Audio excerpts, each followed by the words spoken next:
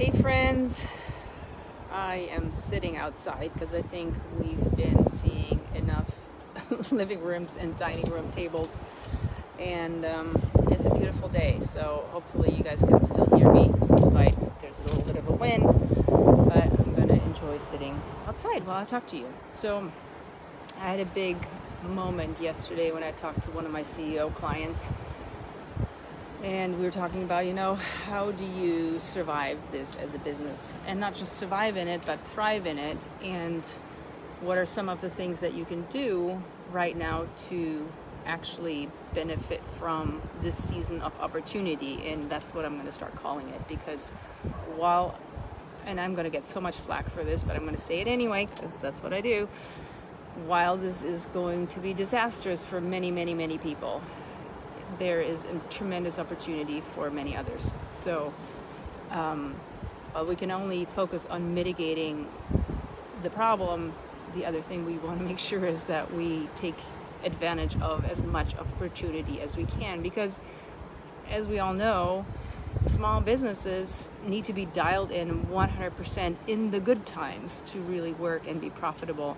And most of the people I know have small businesses. I mean, if you're anywhere under 250 employees, this is for you, this is what I'm talking about, or even a thousand employees. Every single person on our team needs to be 100%, like the best person in the role right now. You, we can't tolerate having anybody on the team anymore who is not 100%. So, one of the things we were talking about yesterday is this is really the perfect time to look at first, of course, making sure that your product or your service is dialed in the best way possible so you can make sure that you're relevant to your clients right now.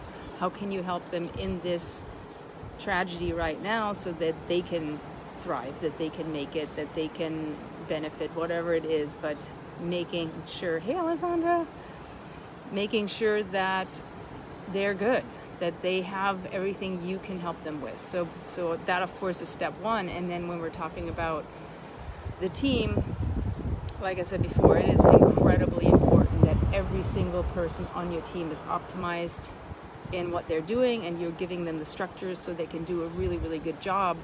But that's only one piece. So you can and that is i mean i'm going to preface this with saying this all everything i'm going to say later needs to be grounded on that you've already done the best job possible to make the environment successful so people actually can be successful right? So you've given them the right objectives and outcomes and opportunities and the support that they need to do a really really good job you've uh, you've given them utmost clarity about what's expected of them what success looks like and how you're going to support them and how they can get support if um, if it's not support they're already having. You have stellar communication, so people can actually use you as a leader, and you're supporting them emotionally, mentally, and in every way possible through these through these rough times because everybody is having to pivot everybody is having to figure out how to survive this so i'm gonna this is this is what we're gonna come to the opportunity with so you've already supported your team as much as possible. And then the next point is once you've done that as a leader, it is your responsibility to look at your team. And I make this a practice anyway. And this is very unpopular. And a lot of times people have a lot of resistance to that because where's the loyalty? But what I'm talking about is, especially right now, you have to make the very best decisions for the health of your company. And this is going to go to, all right, even in the best of times, we want to use this practice of top grading, which means you're going to look at your team every three months and you're going to look at who are the bottom 20%. And those are probably not your A players. And you want to build this team of A players only. So your bottom 20% need to go.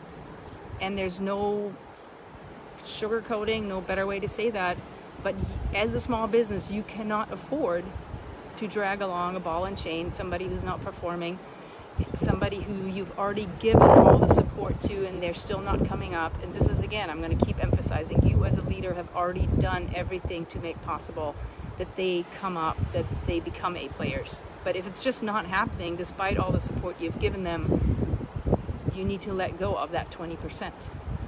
And so you'll have 80% left. Of those 80%, 20% are your A players, and they're great, and you don't have to worry about them. They're going to do their thing. And the 60% in the middle are kind of on a scale, and you're going to have to keep an eye on how they're going.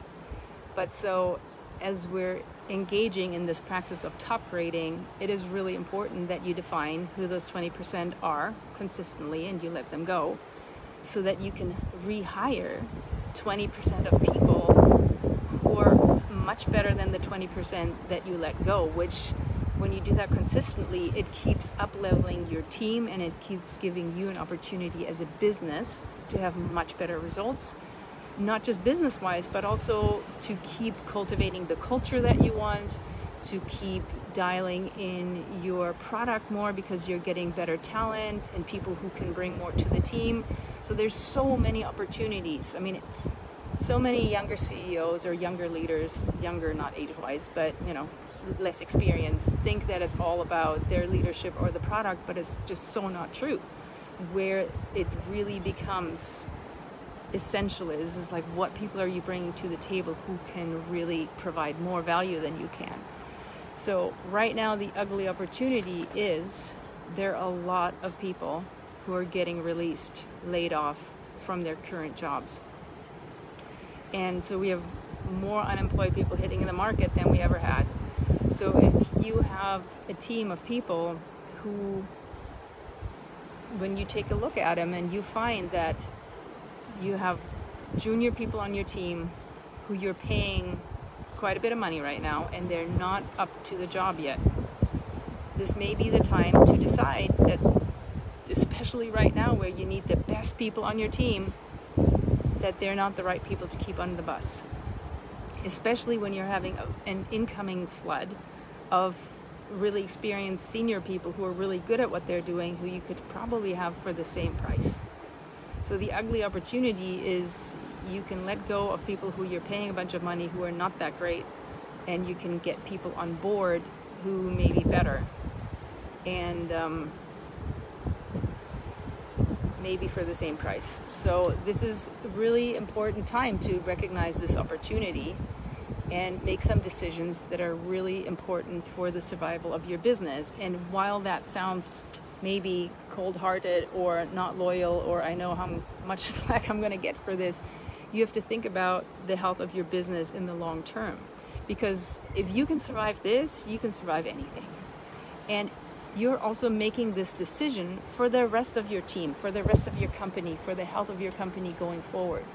So it is not an emotional decision. It is really a decision around how can you upgrade this consistently so that you can make your business the best performing team you could ever have had. And yes, consistently it will require you to be an incredible leader. And that's another story.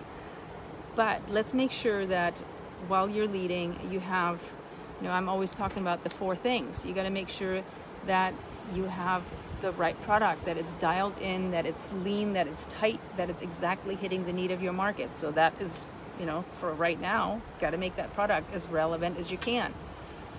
Second thing being, you got to make sure you have the right systems so you can support your people to really be rock stars, to be amazing at what they do, that they get everything they need, that they have clarity, and that they can deliver. And then the third one being the people, being the right people, because Sometimes they're great at what they do and they're still not the right people, and sometimes they are the right people, but they're not great at what they do. So, in that respect, you always think your can do, will do team fit.